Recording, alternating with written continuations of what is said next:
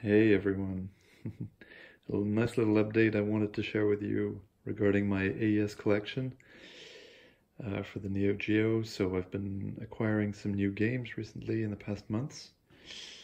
And also I moved into a new place uh, with my wife and son. That means uh, an all new setup for my console, favorite console, the Neo Geo. I also bought myself an arcade cabinet, which you'll be seeing afterwards. And um, voila. So here we go. So this is my my actual shelf with the collection as of today, so um, May 2nd, 2019. I've got a couple of shelves with a mixed collection of AES titles, MVS titles, and some converts, which are on the bottom row as well. And uh, let's get to it. So I recently also acquired some uh, some Kaiser cases for my most collectible pieces. So here we are. So we've got right here, as you can see, uh, a nice um, Power Instinct Matrimelee, which is uh, which is a great uh, fighting game uh, with lots of different characters. Very pop, kind of cartoonish but manga style uh, fighting game that I like a lot. It's really, um, really a nice piece. This is probably my favorite item.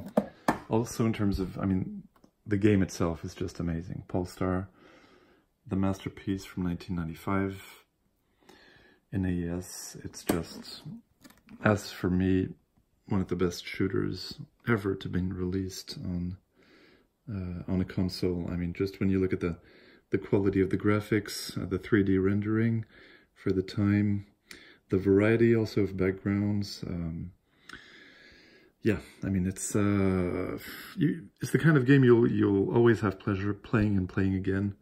Mastering difficulty level, which is extremely high, even um, at uh, three points on eight, which is my usual level. Otherwise, I, I just can't make it. So not? That's for the Pulstar. Then we get on to a very nice piece. Kizuna Encounter Super Tag Battle in Japanese.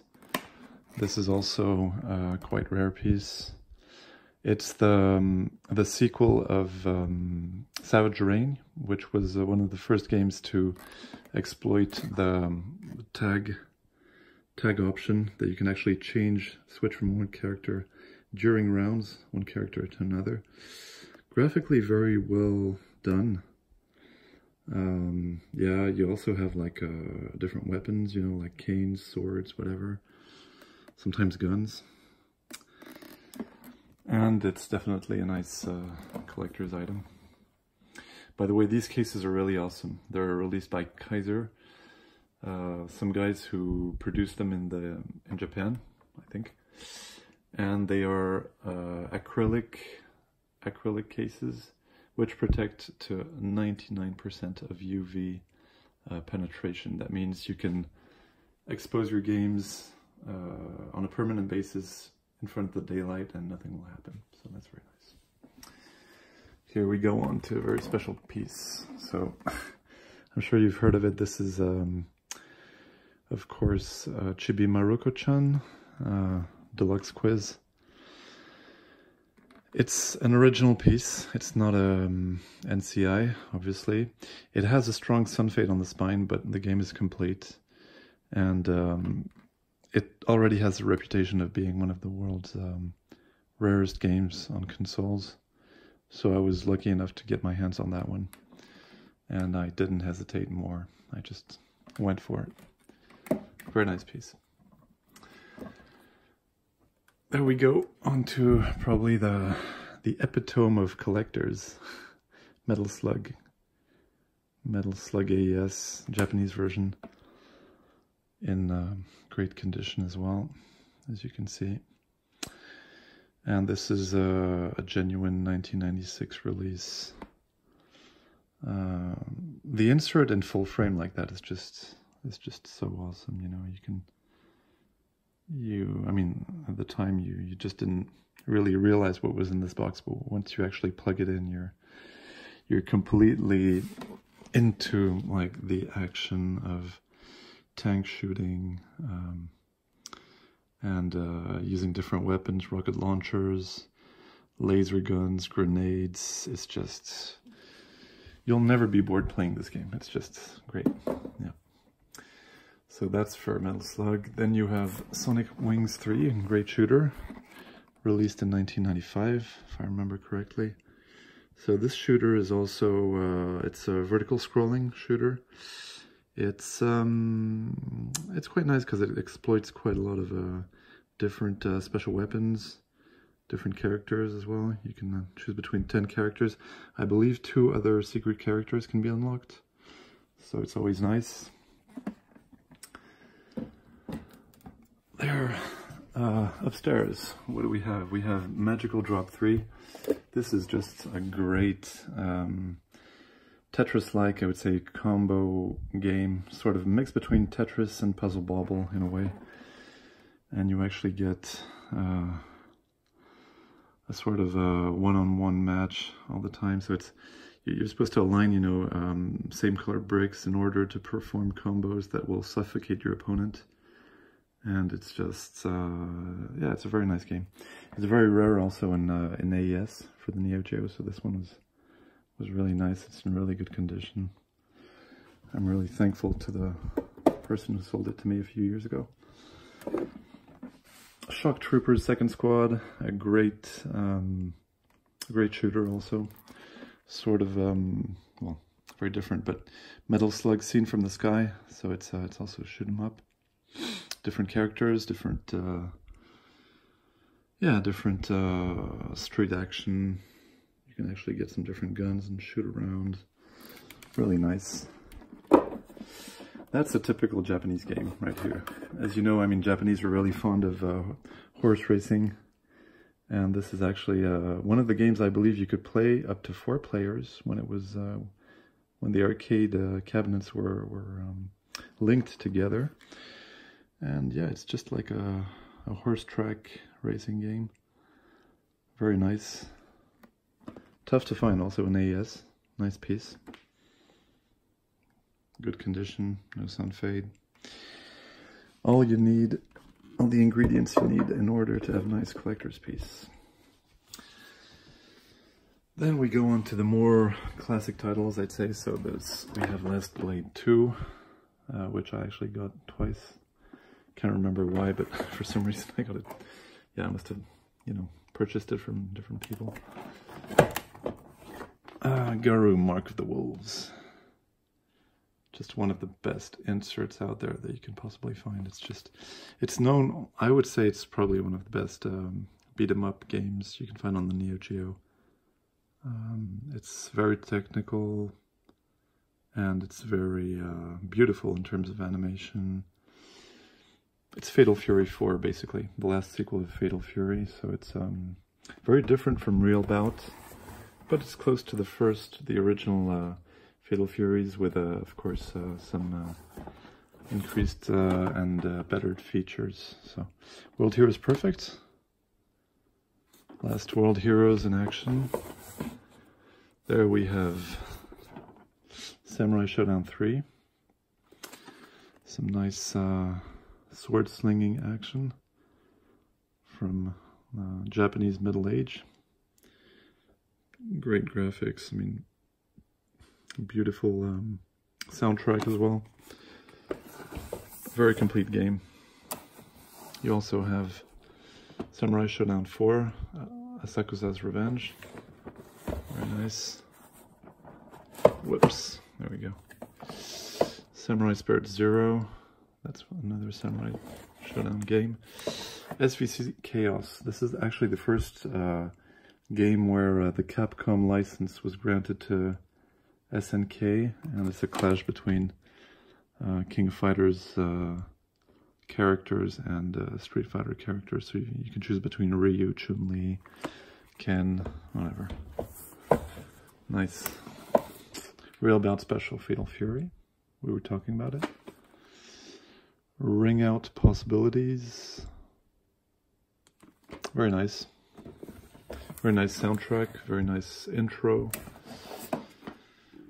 Neo Geo Cup 98, we got the kick. That's a nice...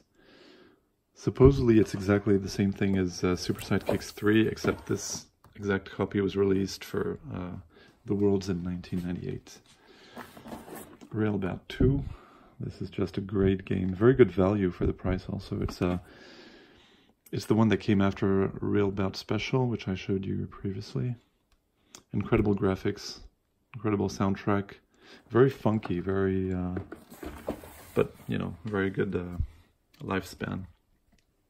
Kabuki Clash, Far East of Eden. Another fantasy fighting sort of uh, atmosphere. Here we have Last Blade 1. Last Blade 1. Also uh, it's like a middle-aged samurai fighting game. Metal Slugs. So Metal Slug 5, the very last one to be released in 2003, if I remember correctly. Metal Slug 4, unfortunately with a bad uh, sun fade, but it's still Metal Slug 4. Look at this action, I mean it's just Metal Slug is Metal Slug. It's a cornerstone of uh, action games in the Neo Geo. I'm really happy with this uh, first uh, first run Metal Slug 3 in US. It's really um, it's probably one of the best games for the Neo Geo, I think. Packed with action, alternative routes, uh, very good lifespan. Metal Slug 2, a very nice piece, one of my favorites especially for the artwork. The artwork is just amazing, and uh, you can tell this copy has been uh, maintained in very good condition as well. Yeah, so very nice, uh, very nice stuff. Here we have Fatal Fury 3. These are more common titles. Huh? King of Fighters 99, 98, 97, 96, 95. Where's 94? Oh yeah, I put it somewhere else. Here we have Art of Fighting 3, The Path of the Warrior. Very realistic fighting action. Great game for 1995. Then we go on to um, other games such as World Heroes 1, which is actually not so easy to find. It's way more difficult to find than the sequel, number 2. Robo Army, one of the first games to be released, 1991. Very nice kind of robot tech uh, beat 'em up mechanic game. Very nice. Graphically impressive, actually, for one of the first games to be released. Art of Fighting 2. Samurai Spirits. Samurai Shodown. Ah, here he is. King Fighters 94. Last Resort, awesome shooter. For 45 megs, this game is just simply amazing. Just take a look at the graphics. I mean, it's... Um, how do you expect a game to be launched in 1992 looking as cool as this? I mean, yeah, and the animations. It reminds me a little bit of Pulstar. It's really the premises of Pulstar packed with uh, less large meg count, I'd say, but as effective. It's really effective. It's, it's just, wow. Mm.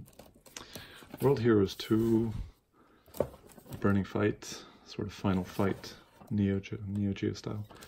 Dunk Dreams, which is also called Street Street Hoop in US. Thrash Rally, this is just a car rally game, quite nice. Fatal Fury Special, Jap version. Fatal Fury 2. Nice piece here as well, Sonic Wings 2. Hmm. In Jap. Very, very nice. That's the one just number 3, which I showed you previously. Nice vertical scrolling shooter. Uh, different special weapons, you know, like different attacks. Fighters History Dynamite, uh, one of the less known beat 'em up games. Not that good actually, but it's yeah, it's pretty okay. Viewpoint, amazing. Amazing uh, three quarters um, view shooter, you know, with, um, yeah, I mean, like the angle is very surprising actually at first. You're, you're actually evolving in landscapes at sort of three quarters And it's, uh, yeah, it's amazing. For 1992, it's just fat. Really fat. Sengoku 2. Awesome, awesome beat them all game. Very good lifespan, very good, uh, yeah, it's just, it's just huge. And this is sort of uh, in the old Japanese, I think it's the Japanese eight, eight, Japanese 18th century with samurais and invocations, you know, spirits. You actually warp from one, you know, one world to another. It's, it's really nice. Very good um, original scenario to this one. Then you have down there Top Hunter, Japanese, awesome run and gun game. World Heroes 2 Jet, Samurai showdown US Top Hunter Euro version. Nice. Spin Master, awesome sort of platform run and gun. Very nice. Ninja Commando. This is a great game. Also vertical scrolling shooter with a very, very nice, I mean, uh, very nice animation graphics also. Fatal Fury 2, Fatal Fury Special, World Heroes 2 Jet, 3 Count World Heroes 2, Mutation Nation, King of the Monsters 2, Art of Fighting, Strikers 1945 plus. Then we get onto the converts. So these are just converts basically of games that were released in MVS Unfortunately, I don't have the Blazing Star in original, but maybe, who knows. And this is probably one of my favorite games as well. Prehistoric Isle 2. Ah, that's just an amazing shooter where you're you incarnate a helicopter and you actually don't fight against aircrafts, but you fight against dinosaurs. And you get to shoot dinosaurs. That's pretty cool. A very cool game. Very nice lifespan. Alpha Mission 2. This one is really nice because it's, as you can see, still sealed. It hasn't been opened. Very good condition as well. It was a nice treat I got from a friend of mine. Unfortunately, not able to play with it, obviously, but on a Super Baseball 2020. Eight-Man, Ninja Combat, King of Monsters, Magician Lord, Super Spy, Ghost Pilots, Riding Hero, NAM, 1975, Blues Journey. And a loose cart. Wow. A Fatal Fury. How big is that? Ah, Controllers. Nice mass stick.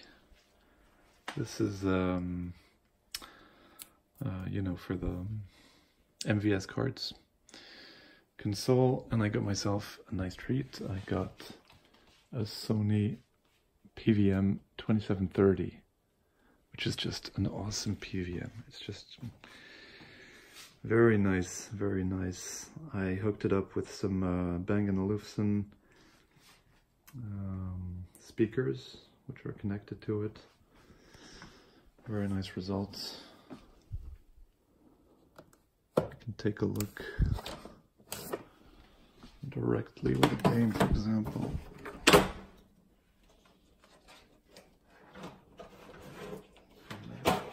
Take it out insert it in here.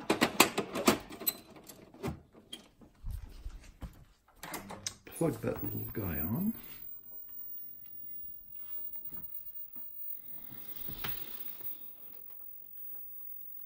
Mm. Yeah, but I'm just realizing actually I didn't put the, the SCART behind. Well, whatever, it works. it's nice. And here I have a little special treat for you guys. This is probably a 19, mid-80s, 1985 kind of thing cab, which I got recently because I bought a special PCB of a game I literally adore on the arcade, which is also a shooter, horizontal scrolling shooter. You'll recognize quite fast what it is. In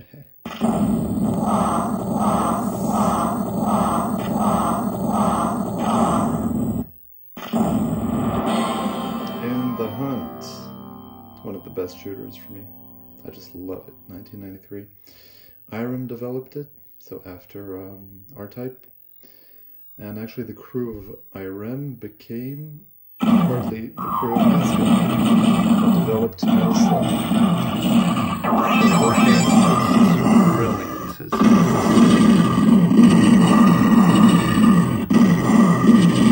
probably one of my only infidelities not playing the Neo Geo playing this at